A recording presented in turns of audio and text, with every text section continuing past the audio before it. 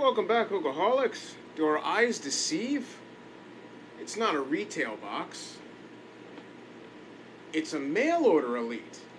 So uh, we got our August's MTB Elite now in red. So I guess retail red has spread.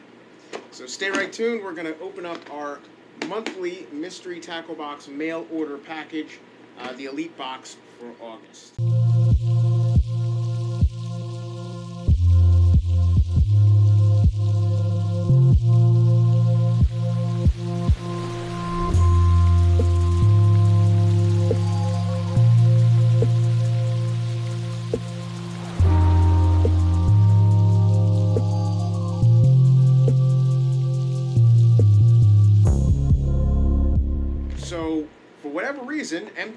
Has changed their colors yet again. So they went from like a standard beige to like gray elite box, then they went to our green elite boxes, and now they're going with red. Uh, I did open this already because, as you can see, uh, the package was pretty banged up and dinged up. Normally I don't. Obviously, I like to open these up uh, firsthand and let you see uh, with me what comes out of it. But this time, because the package arrived so late, didn't show up till 8 p.m., uh, 8:30 p.m. actually last night, uh, and with the damage on the side, I didn't know if uh, if it was all intact. So I did actually uh, crack into it a little ahead of time. But that being said, I didn't really peruse everything. I just made sure that the brands were in there and the number of items were in there. So we're gonna see what we got in our August MTB Elite. Uh, let you see in there.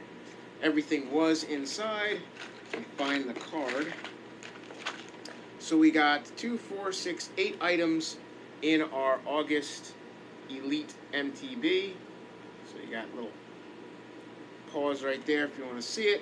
As always, I'm going to leave the timestamps for each and every bait as I go down. So if you look down in the uh, in the uh, drop down menu, uh, when you hit that little arrow button uh, to expand it, you can see each name of the bait, and then if you want to click right on that timestamp, it'll jump right to the bait opening and uh, and what I show you and what, if anything, I can explain about that bait.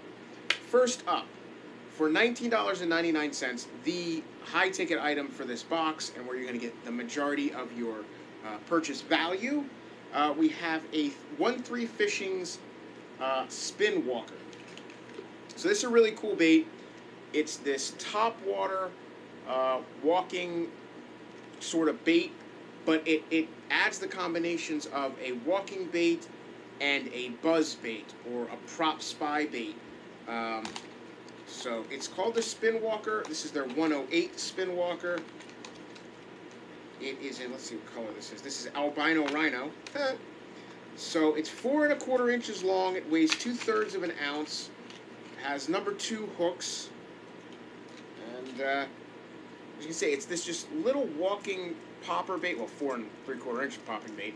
Um, cool little eyes, red gills, but it adds this little metal clacker on the top and a a buzz bait twin blade in the middle. So as you're as you're scooting this along, you can walk it obviously, but as you're buzzing it across the surface, it's also going to spin this buzz bait and and at the same time hit that little metallic clacker right there at the uh, at the top there. So it's going to cause flash, it's going to cause vibration and noise. Uh, other than that, it is a well, that's that's the metal inside moving, but it's a silent otherwise bait, except for the clack of that buzzer going along. Um, nice sharp hooks, excellent bait. Nineteen dollars? I don't know about that. I don't know about that. I would like to go with the old-fashioned Heddon spook, or any other kind of like you know walking prop bait. Um, I mean, they're all trying to compete with the Whopper Plopper. So this is One Three Fishing's kind of rendition of the Whopper Plopper without stepping on the toes of those uh, patents and tra- trademarks. Um, all in all, really cool. Not something I would personally go to the store, see on the shelf, and pick up. But hey, I'm not going to knock it. I, I like it. I'm looking forward to seeing how uh, how it'll fish overall. It's a neat little design, something different. Again, albino rhino. Um, I don't know. The hooks are pretty cool. It, uh, yeah, Metallic prop and clacker provides enhanced noise and vibration. Uh, it's got the VMC hooks on it, so that's why they're super sharp. And uh, the 3D holographic HDIs. Not bad. Again, a little pricey, overpriced um, for a simple walking bait. Um, who knows? Next up, Xcite Baits XB1. So we've got ourselves a little square bill. I, I think I have a few of these. Uh, this is in the uh, blushing shad color, which is that silvery, purple, ghosty kind of color. Um, this one is got the weight transfer system in it. It's a two to five foot, three eighths ounce diver, and you can hear that heavy thud, one knocker in there. Uh, W2TS. So basically, the weight transfer is going to give you that uh, that that thud. And the cool thing is, uh, the weight transfer system is tungsten, so that's pretty cool. So you're paying a little bit of a premium on this. Eight dollars forty nine cents for the Xcite Baits XB1. Um, not bad. Good square bill. Love the color. Next up, Phenix Baits Shoremaster Spin Bait. So now this is not. Um, I don't believe this is a company I'm very familiar with.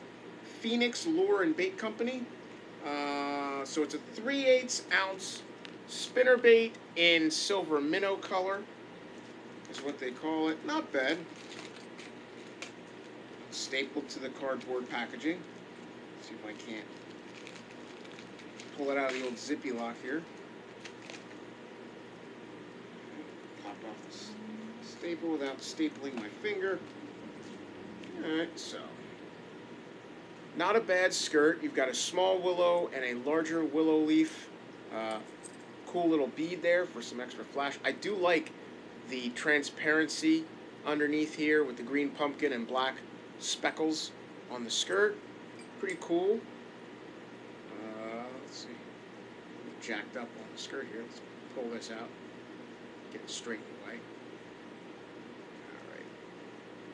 Not hand tied. Just around the rubber band. It out straight. There we go. Alrighty. Pretty cool. Cool keeled head there. Nice. Nice. Very narrow head, almost like an arrowhead uh, style bait. So that's pretty cool. Again, it doesn't have that closed in eye, so I'll just throw a little heat shrink around there, poke it through with a hook, and uh, tie on that way so I don't have to worry about the line riding down here and uh, fishing it without the proper action. Not bad. 3 eighths. Like I said, I'm not really uh, accustomed to the Phenix Lure and Bait Company. If any of you have heard of it, uh, drop comment down below. What do you think of uh, Phenix brand uh, lures? What kind of lures do they sell? This is the first time I've ever, I think, seen this. So, 3D Bubble Eye. Eh, okay, it's, it's an eye. All right, stainless steel wire, which is good, and it's got a 4-aught Gamakatsu hook. So 4-aught Gamakatsu, everybody loves Gamakatsu. I love Gamakatsu. Not bad. Uh, the Phenix spinner bait, they they retail this at eight dollars. Boy, how prices have gone sky high. Next, oh here we go, something different. Uh, Hook Defenders Lure Wrap. Now this is something I don't have, but I actually should have, especially for my larger treble hook baits. Um, this is one of those little bait wrap sacks. So you just wrap, put your bait inside. Velcro's on three ends. You slip your bait inside, and then you zap this around the bait and your rod, and it keeps your treble hooks from getting caught up on all kinds of things, especially in your rod locker, in your car, because uh, if you have uh, fabric car seats or leather car seats, you don't want your treble hooks getting stuck in your car seat. Uh, and of course, you know this is an MTB thing because, look, my nemesis there, the old Rattlebot, he's sitting there as they uh, as their display item. Not bad. Um, so Hook Defender uh, by Hook Defender Lure Wraps, seven dollars fifty cents. Uh, this is worth it. If, if this saves you bending out your hooks, uh, breaking something, or getting it stuck in either you know your your headrest your headrest of your car or something else, or even just you know grabbing a rod and having this around one of your your your baits um, to prevent you from grabbing the treble hooks, seven fifty is worth it. Uh, I love seeing these things out there. I just I've never pulled the trigger and got any for myself. And I do have a few large swim baits. This isn't quite big enough for some of the larger swim baits that I do use. but uh, certainly for a medium-sized bait, this is a great little sack. Uh, I'm definitely going to see some use out of that. 750, not bad. Uh, four to go. Bondy Baits Company, the Bondy Worm for six dollars. So, Bondy f- fish food, not people food. Uh, this is a Canadian bait company, so we got these little tiny finesse, uh, you know, drop shot, Neko rig, nose hooked, kind of little worms. Color they got. Bondy Worm 15 pack in walleye. So they call it walleye. So it's a gold tone plastisol with black and white uh, little spherical speckles in there. It's not not the glitter. Well, there's gold glitter. Then there's these black. Okay, they're black glitter, but there's a little like speckles. It's almost spherical in there. Anyway, not bad. Kind of like it. It's got the uh, flat-sided, paddle-y kind of tail. Definitely something I think would work on a drop shot. Um, certainly on a Ned head, little tail flicking up there, and especially with a flat-sided paddle tail on the current, is definitely going to continue major action. That's pretty cool. And that's a different color than I've used. I'm not, I don't have a whole lot of gold tone soft plastics. Um, and I like the, the combination of the gold, the white, and the black. It's not just gold and black or gold and green. It's got that little white in there, which is definitely salt and pepper poppy. I like that.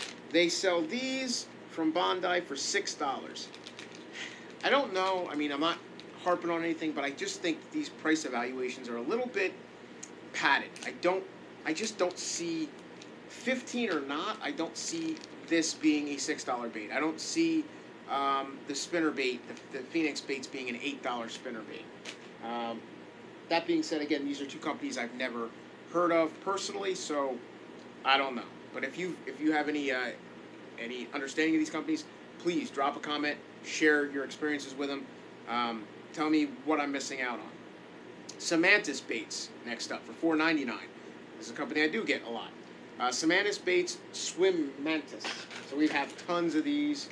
Uh, I have them in a lot of my giveaways because I have tons of these. So this is their paddle tail, almost a hardtail, not quite a hardtail, uh, swim bait. Um, I love them. I work these uh, weightless on a small hook. Uh, you can also use these as trailers for things.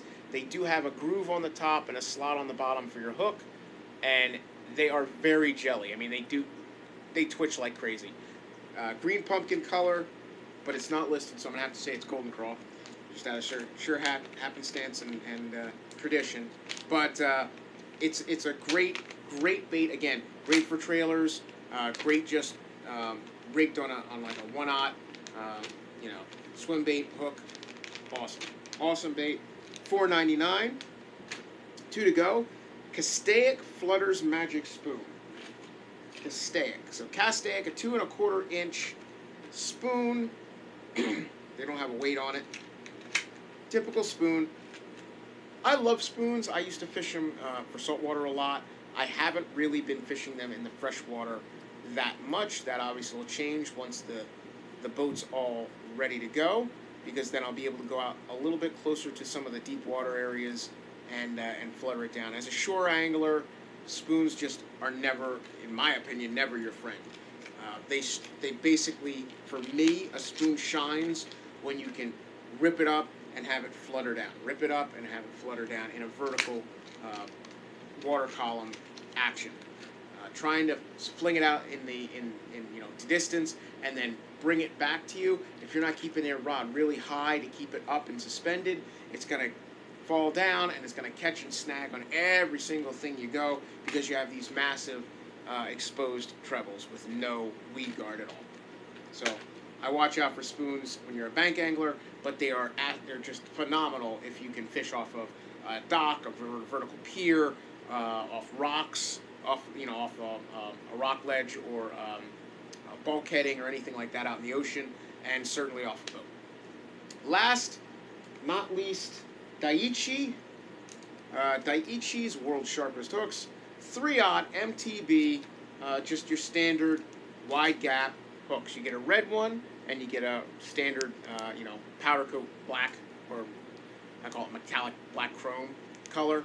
Um, just wide gap hooks, two pack, for one dollar eighty cents. Three ninety nine for the for the spoon, dollar eighty for the Daiichi hooks, four ninety nine for the Swim-Matis, uh, Swim Addis, six dollars for the Bondy worms, uh, seven fifty for that lure wrap, Velcro lure wrap, eight dollars for the Phenix bait spinner bait, eight forty nine for the Xcite baits square bill, and nineteen ninety nine for that thirteen fishing uh, the walking bait.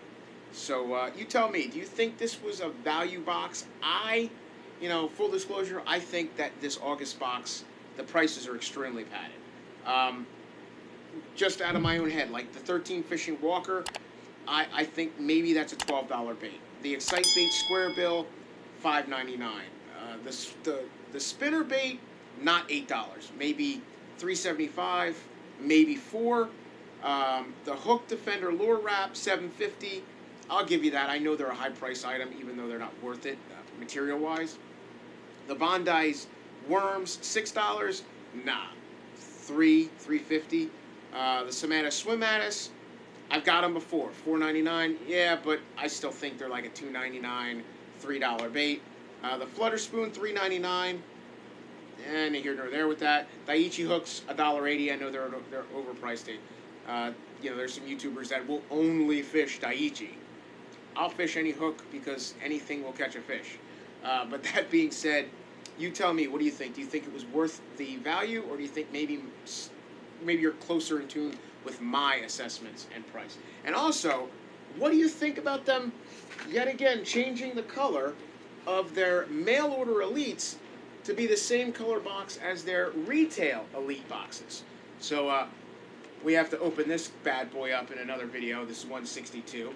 But uh, it's just interesting how they've they've paired up the elites now, uh, mail order or retail. I'm wondering if you think maybe this is some sort of a marketing ploy to confuse people because I see a lot recently YouTubers pushing these and not realizing these are not your monthly subscription elite box. The retail box is not the same thing as your mail order box.